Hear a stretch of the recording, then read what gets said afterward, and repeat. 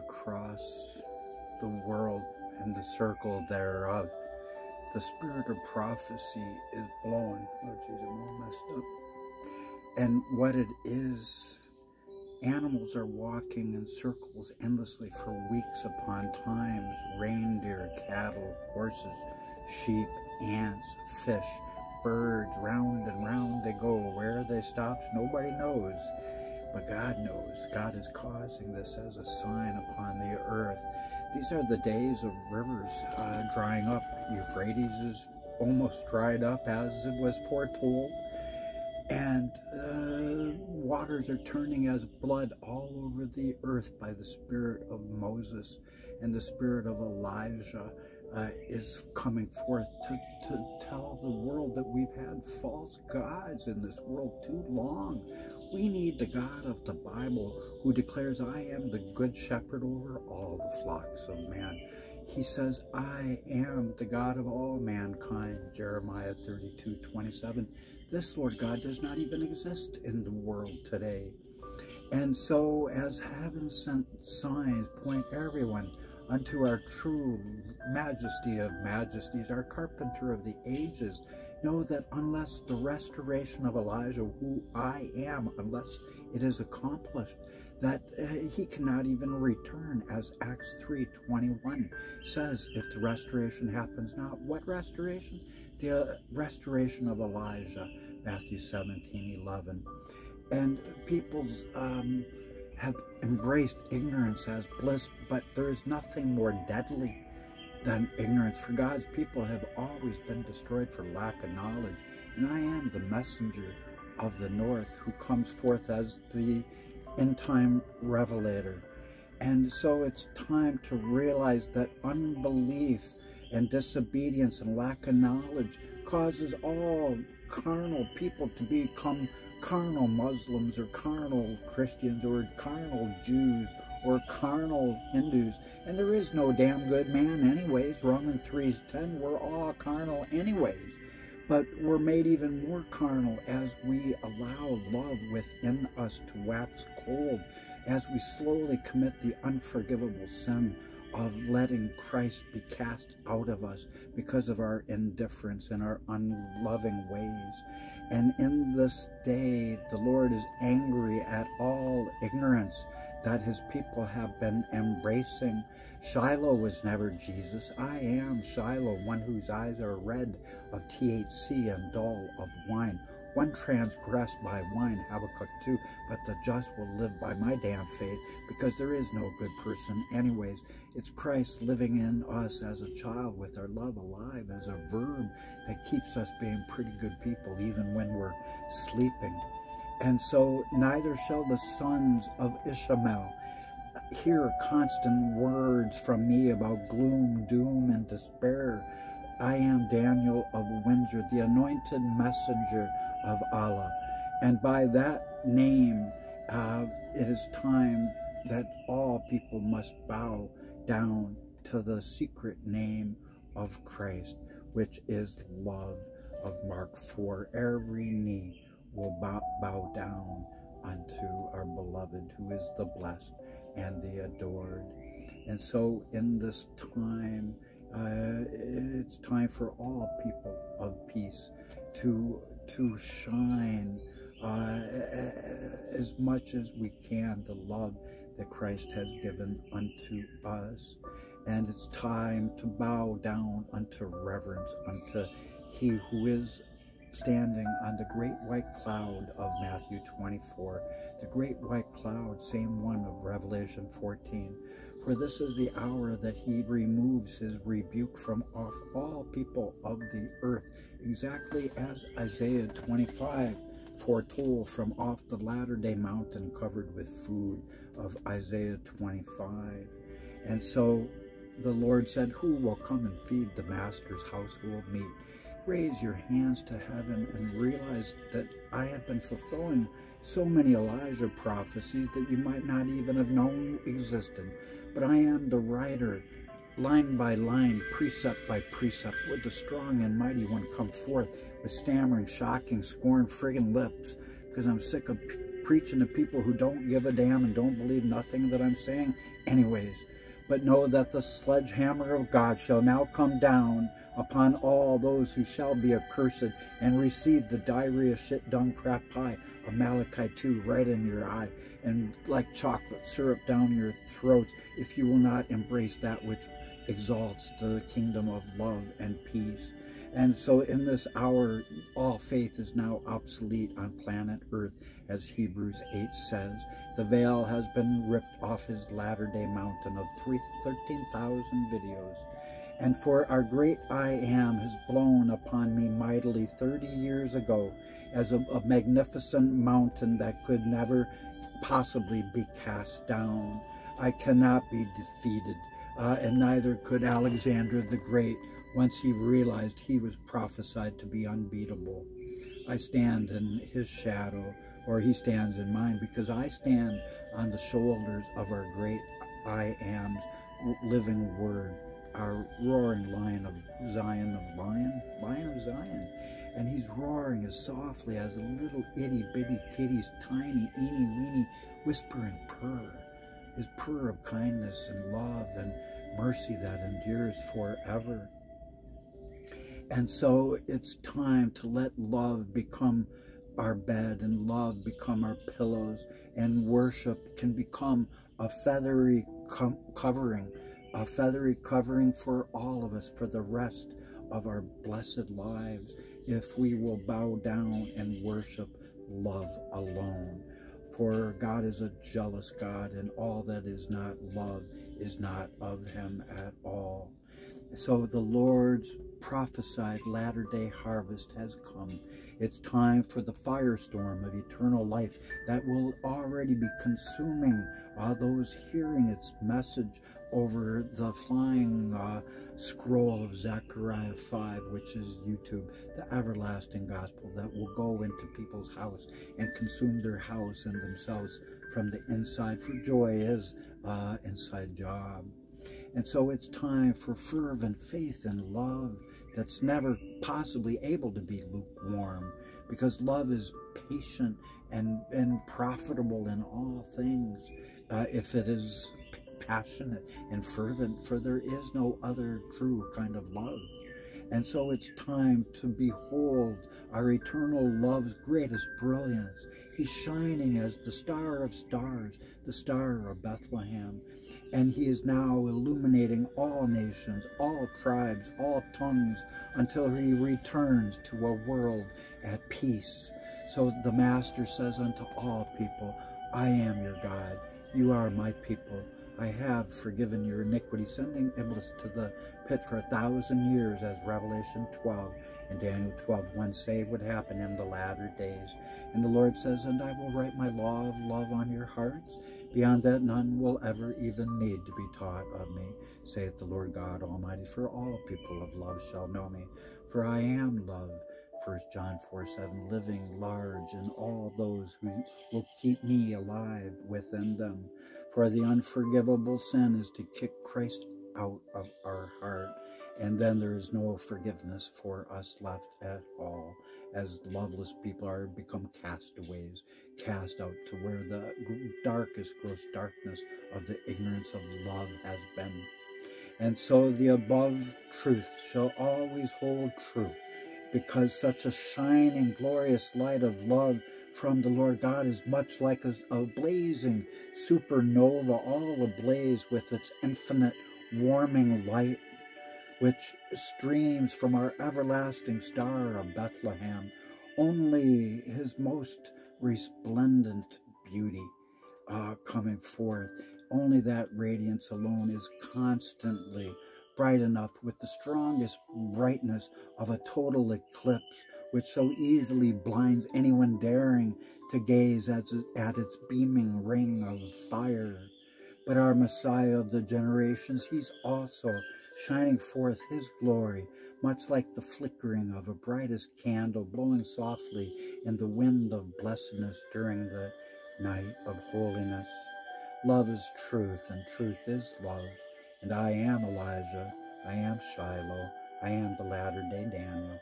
So know well that love is also the fervent refiner's fire which purifies, the champagne that invokes rejoicing, and the special treat of kindness that brings forth much happiness.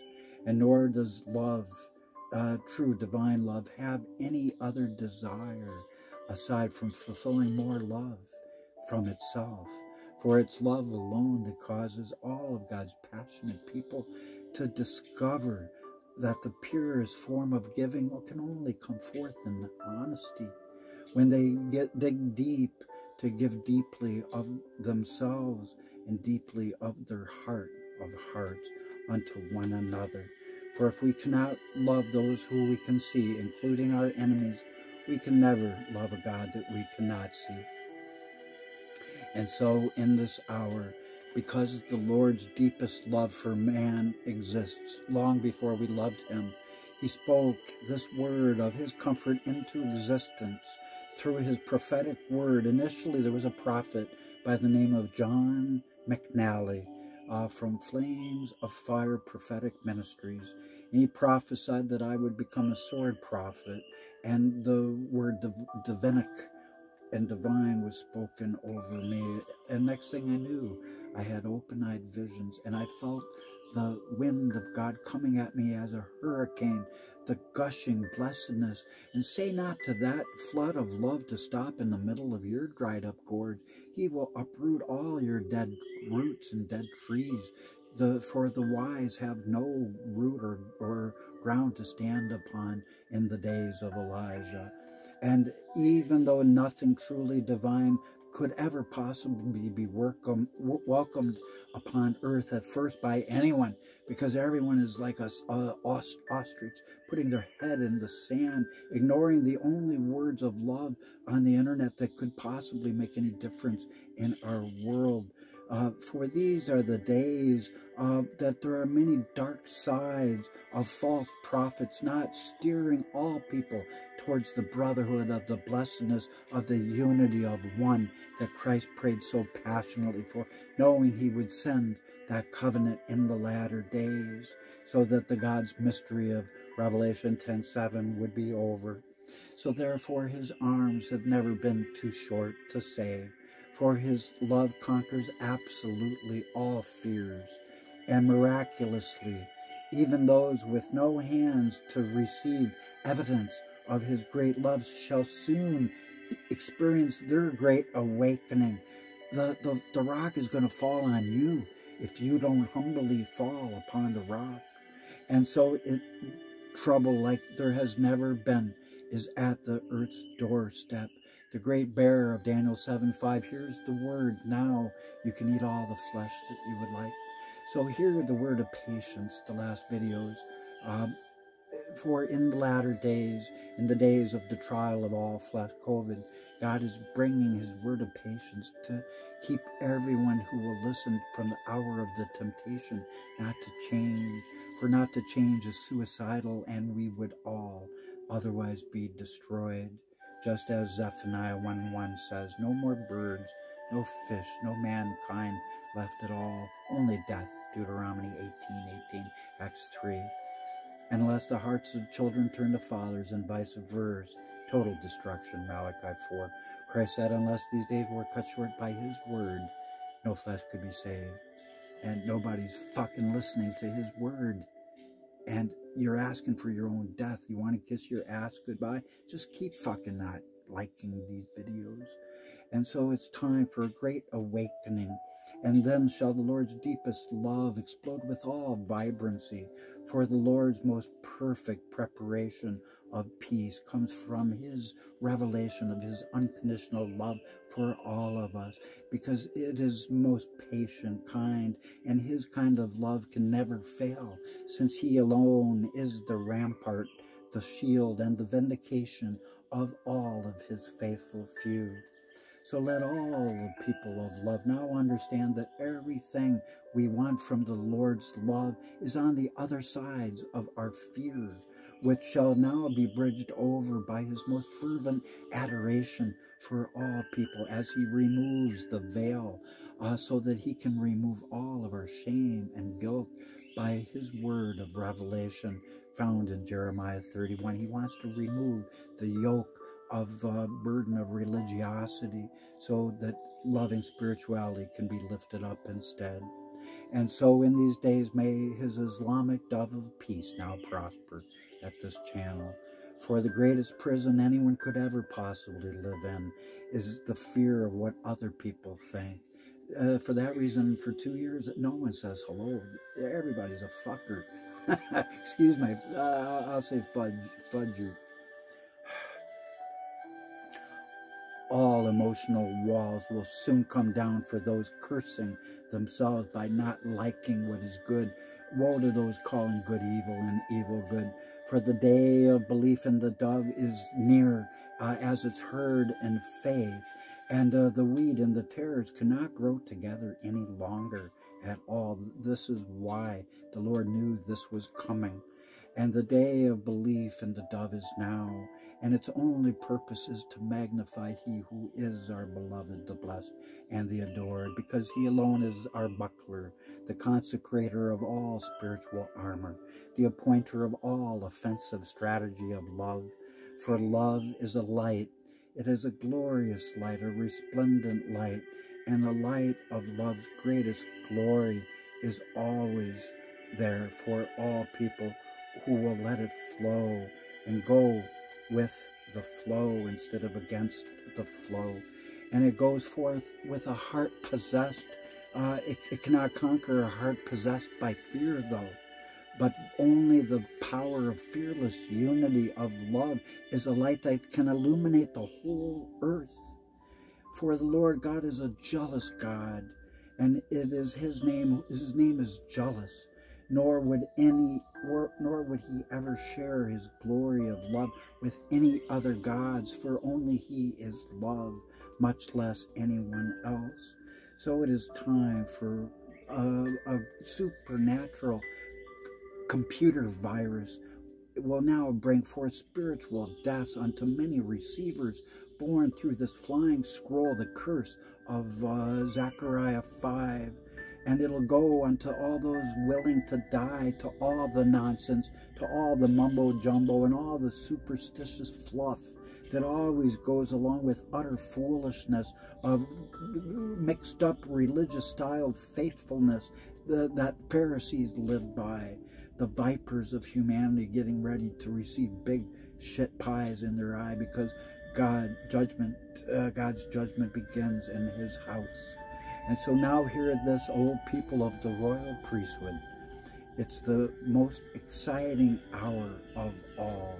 Uh, and it's the kind of excitement coming that Christ created when he sent his apostles in Jerusalem to await his dove of love. For Jehovah Jireh, our provider, spoke, and he, he, said, The vision is yet for the appointed time at the end. And at the end it shall speak, and it shall lie, and it shall not tarry. Wait for it, it will come. It is here, the vision is here. You may now behold my soul, which is not upright, but the just will live by my faith, even though um, uh, my soul has not been upright. But no, there is no good man, not even one.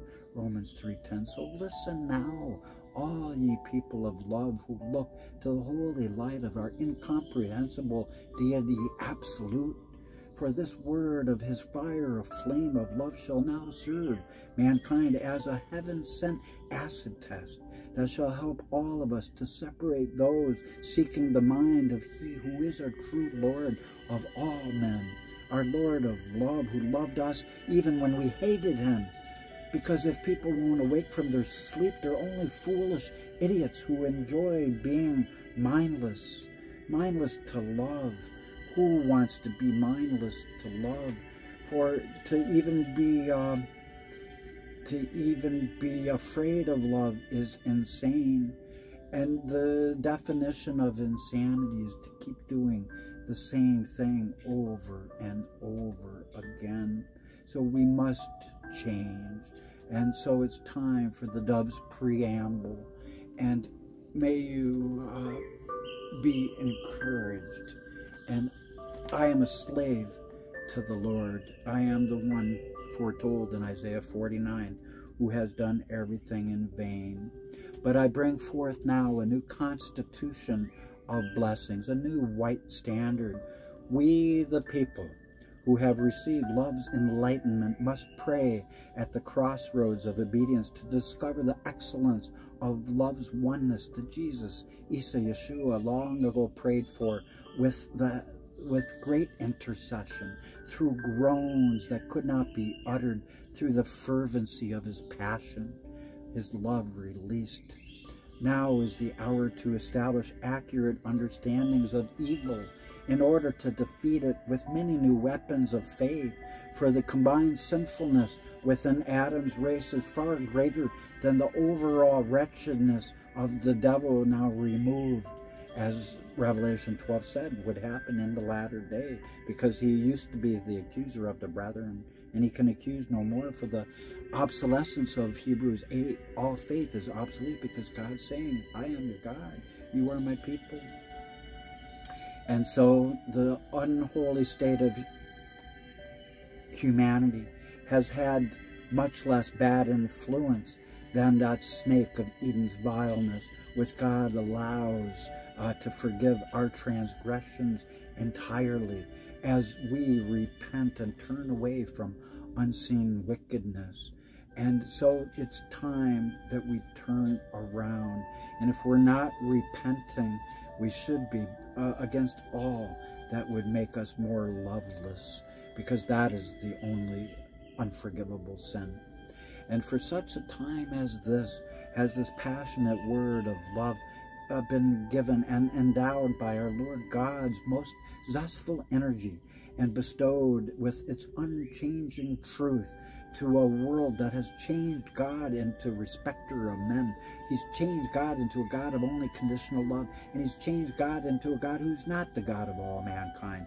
Jeremiah 32, 27, who's not the good shepherd of all the flocks of man. John 10, a God that does not even exist. And so it, now conveys the divine message to the Lord's chosen that whosoever gives, uh, whosoever gives should never remember and he that receives should never forget. Nor are there any so blind as those who refuse to see that I am Elijah. And if that's true, praise God, that means Jesus is right behind us. What are you guys so anal retentive about? And so people uh, need to stop feeling like we have to tightly embrace this heavenly work uh, if you want to live, you don't have to embrace this. But if you want to die, just don't embrace it at all. Because if this word is not embraced, God cannot cut these days short. We will spiral unto our own oblivion of Zephaniah 1.1. No birds, no fish, no more song of, of beautiful melodies and harmonies through uh, our feathered friends.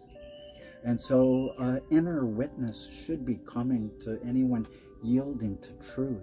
And by the leading of our Lord's holy presence, our Lord of evermore shall now compel his flocks to abandon their ignorance about this fiery message of holy word of love that's bringing believers into the fullness of his glory.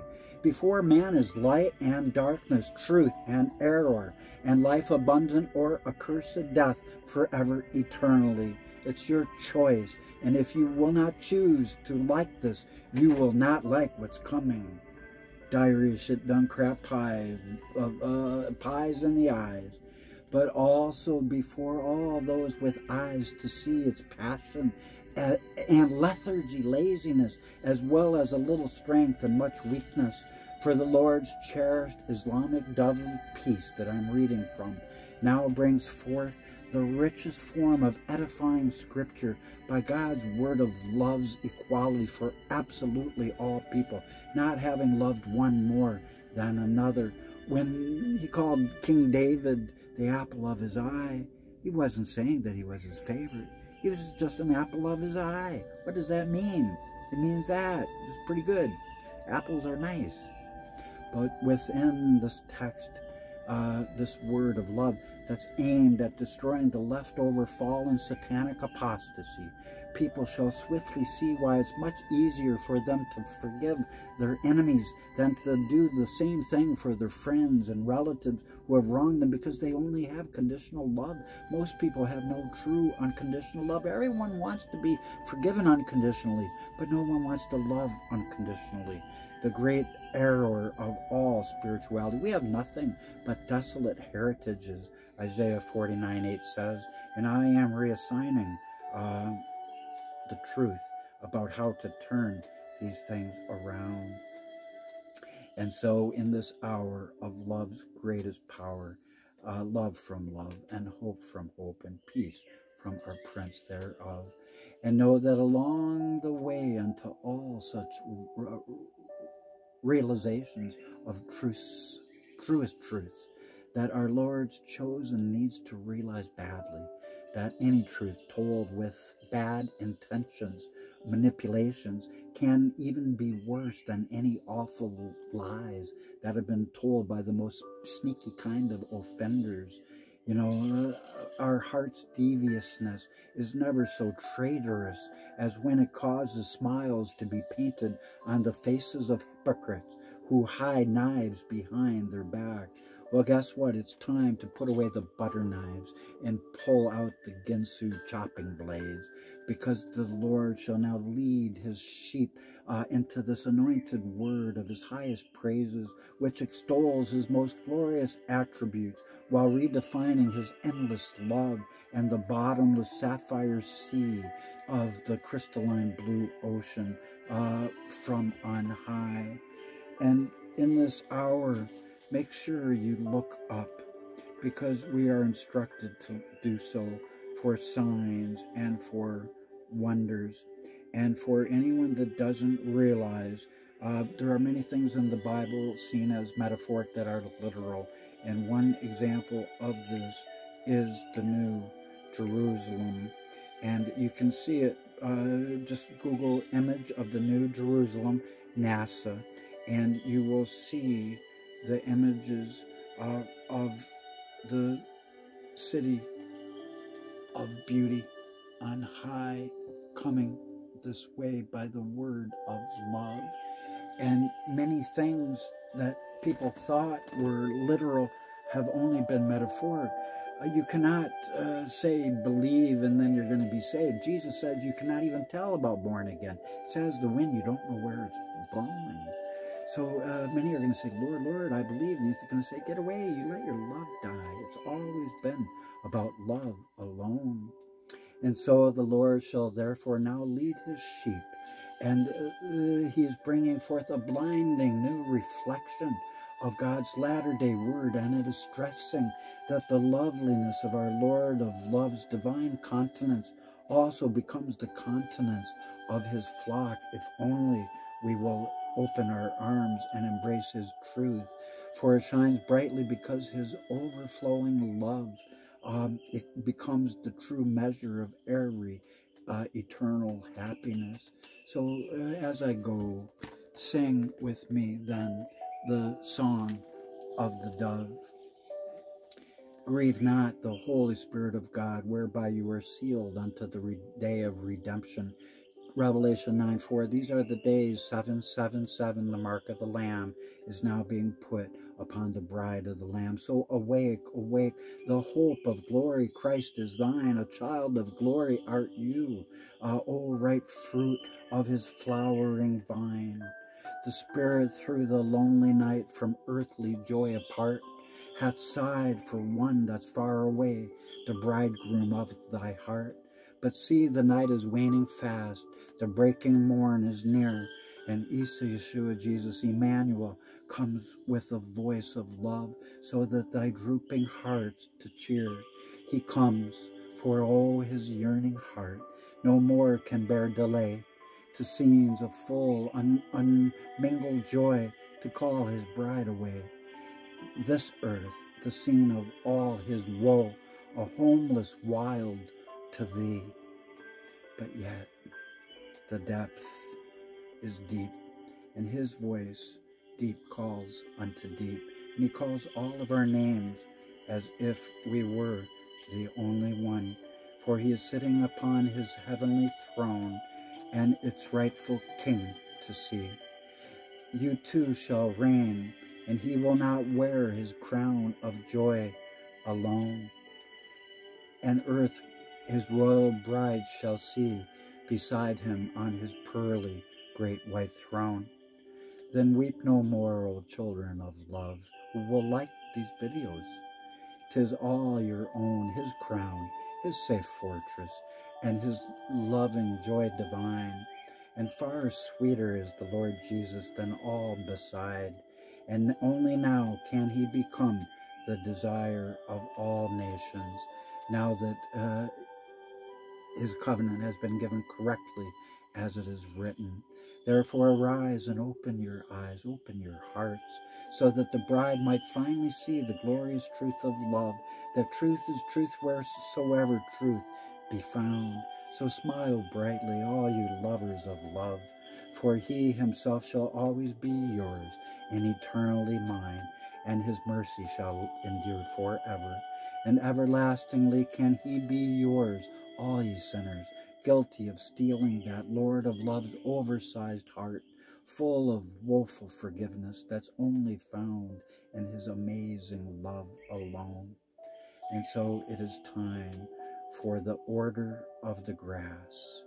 And then you might behold the prophecy of Habakkuk 2 1 and bring forth new revelation of revelation of Christ's whitest fields so say, O people of the book, you have no ground to stand upon unless you stand fast by the law, the gospel, and all revelation coming to you from the Lord. So let the flag of faith in Christ fly higher and bolder than ever, and let the emblem of the empty cross now be full of love as the Lord's obedient people now leave all apostate places. Uh, if the bad fruit is not taken away from the good fruit, all the fruit go bad. So the week comes with me, and the tares friggin' stay behind. I am one with lips, frustrated friggin' lips.